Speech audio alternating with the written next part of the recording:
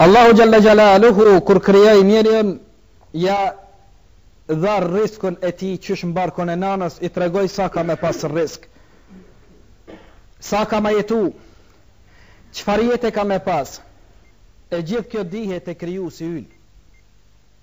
Secili prej neve rriskun e ka të shënum te Allahu xhalla xhalaluhu.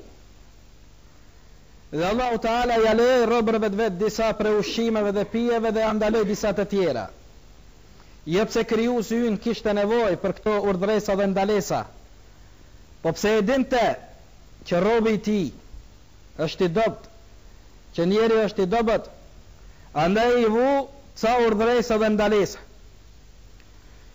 Na vu disa ligje se si me jetu. E tëra kjo u bë për të mirën tënde dhe timen. Për të mirën e njerëzve. Për të mirën e gjithë krijesave Allahu xhalla shanuhu caktoi ligje. Sikur që kemi ligje në shtetin ku jeton. Sikur që kemi ligje në komunikacion. Sikur që ki ligje në shkollë rregullore si me u sjell në vendin e punës. Po ashtu Allahu xhalla shanu ka parapa bonton dhe mënyrë të sjelljes dhe të ka lan gjana të cilat ti mujsh me i përdor ato qoft në ushqim qoft në përdorim po edhe disa gjana t'i ka ndalu duke e dit që është e damshme për ty mirpo njeriu shpesh her din të harxhon jetën e vet ma shum se që ka nevoj dhe lakmia jon na shtin që shpesh her T'i shtrim siç thotë fjala popullore t'i shtrim kamt ma tepër se që e kemi jorganin dhe dalim dojmë me u përngja atyne të cilëve Allahu xhalla shanu u ka dhanë ma shumë pasuni nëse Zoti xhalla xhalalu nuk të ka dhanë qatë shumë pasuni sa ai i cili e posedon këtë dynja shumë prej neve mundohemi në darsmat tona në shpijat tona N'jetën tonë, n'kerat tonë, t'shtyhemi me atyne, me ata të cilëve Allahu xhalla shanuhu u ka dhënë ma tepër se neve. Dhe kjo lakmi e jona, shpesh herë na bën që të futemi në borxhe. Shpesh herë na detyron që të kërkojmë prej muslimanëve tjerë borxhe në mënyrë që pas një periudhe të caktume kohore me ymit se do t'ia kthejmë. Po duke marrë parasysh se shumë prej neve janë njerëz të cilët nuk falin namaz, borxhet që i kanë karshi Allahu Teala nuk e kryejnë, automatikisht na del se këta njerëz edhe borxhet që i kanë karshi robëve të Allahut nuk i kryejnë si duhet. Dhe shumë prej muslimanëve tanë që e quajnë veten musliman nuk falin namaz. Shumë prej muslimanëve tanë Shumica dërmuese nuk japin zeqat.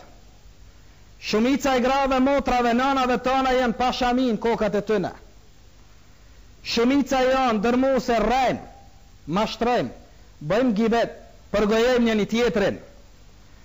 Nuk e majmë emanetin dhe nuk i kthejmë borxhet në kohën kur jemi marrë vesh me borxhliun për t'i kthyer. Andaj sot mu këtë çështje kem vendos t'ia kushtojmë një problematike e cila na u ka shëndrru në smujë në shoqninë tonë te muslimanët e trevave tona ku gati nuk ka dyqanxhi nuk ka tregtar nuk ka njeri që Allah i ka dhanë pasuni ma shumë se që i ka nevojat e veta ditore e të mos ketë borxhli që e ka tradhtu në premtimin e dhanë dhe nuk ia ka kthy borxhin. Shiqoni koshitë e juj, akrabatë e juj, marketat, dyqanet, tregtarët përreth jush dhe pyetni sa e ki fletoren e borxhlive. Nuk ka dyqan që nuk ka me tregu ni fletore të borxhlive ku me mija euro figuron prej njerëzve të cilët marrin hua dhe nuk ua kthejnë ma borxhet atyne.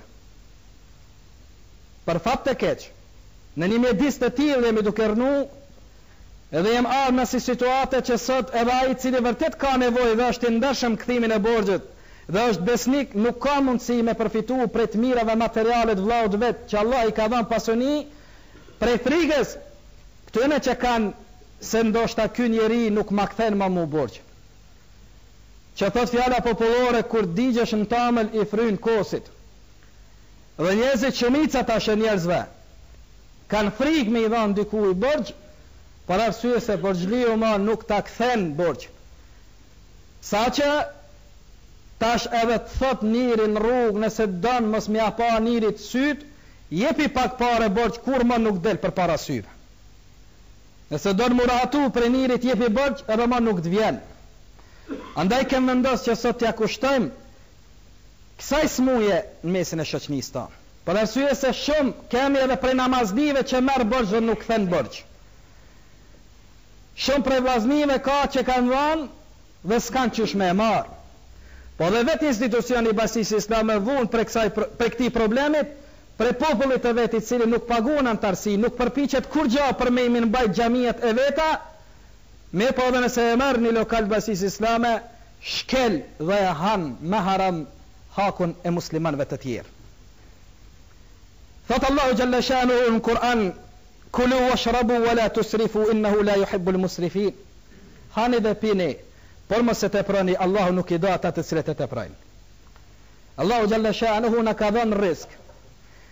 Mush me hangër me pi por jo me e tepru dhe me e shpenzu pasuninë ti si don dhe kur i thu cigarexhisë pse po pin cigare thotë se zoti mka dhanë dhe e shpenzoj qysh du une nuk o ndorë tande që me shpenzu si don për arsye se pejgamberi alejhi selam na ka tregu që n'ditë kijametit do të pyetemi për pasuninë ku e kem fitu dhe ku e kem shpenzu atë nuk o ndorë tande me e shpenzu si ti don do të jep llogari ku e ke çu këtë mall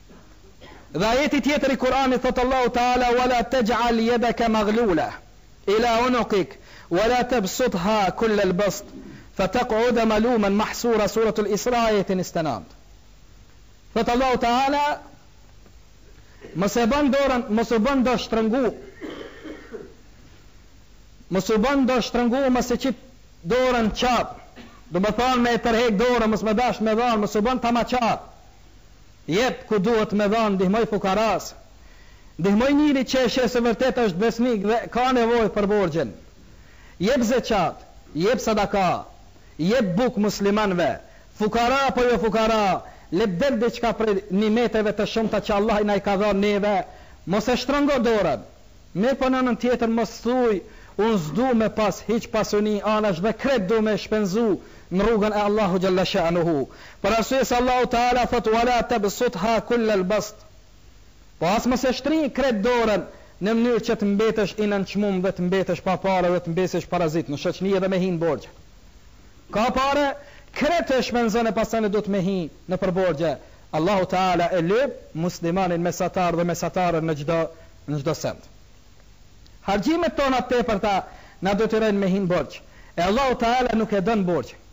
Pejgamberi alejhi salatu o selam nuk e ka preferu që muslimani me hy në borxh. Mundohu me i shty disi nevojat e tua pa hy në borxh, se thotë pejgamberi alejhi salatu o selam në një hadith të cilin na e transmeton Hadithi sahih dhe e gjejmë n'përmbledhjen e haditheve sahihe të Shejh Albanit me numër pesëdhjetë e katër, njëzet, thotë, La tukhifu anfusakum bid-dayn, Mos i frikësoni veten e juaj me borxh. Mos e tutni veten e juaj me borxh. Pse? Për arsye se tutesh a thu ko me mund me ia kthy këtë borxh, po e marr për tregti, po a thu ko me pas tregti. Tutesh mos po vdes e po metet borxhi në qafë të evladëve të mi, Tutesh, ndoshta s'muj me ia kthy e prishna me këtë dost e me këtë akraban. Tutesh, ndoshta s'muj me ia kthy, e e vonoj borxhin e më lajmëron n'polici e më shtin n'burg. Tutesh, andaj thotë Islami, thotë Pejgamberi alejhi salatu ue selam, mos e frikësoni veten e juj me borxh. Shtyje që ki mundësi, shtrëngohu, mos hin kollaj kollaj n'borxh. Mirëpo nëse nevoja është patjetër, atëherë i lejohet muslimanit që të hin dhe të merr borxh. Pejgamberi alejhi salatu ue selam në fillim të Islamit e ka pas adet mos mja fal namazin e xhenazës borxhlive. Para se me fal namazin e xhenazës pejgamberi alejhi selam i pyste shokët e vet dhe u thoshte a ka borxh ky njeri? Nëse i thonin ka, tërhiqej Resulullahi sallallahu alejhi ve selam dhe s'ja falte xhenazën, thoshte dikujt tjetër falnja ju. Mos të jem unë dëshmitar për një borxh të këtij në këtë dynja. Për arsye se borxhi është prej atyne gjanave të cilët do të pytesh në ditën e Kijametit. Shehidit i falet nëse dikush prej muslimanëve vdes në rrugën e Allahut Teala tu e mbrojt dinin e Zotit të vet. Bjer shehid. I falen krejt gjynahet e tij e të cilët i ka vepru në këtë dynja. Allahi